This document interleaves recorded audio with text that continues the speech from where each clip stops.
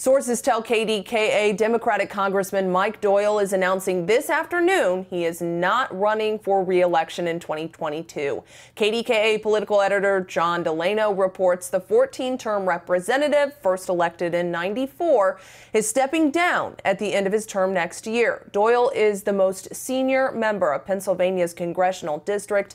His retirement is expected to set off a fierce political battle to replace him. Katie Johnston for CBSN, Pittsburgh.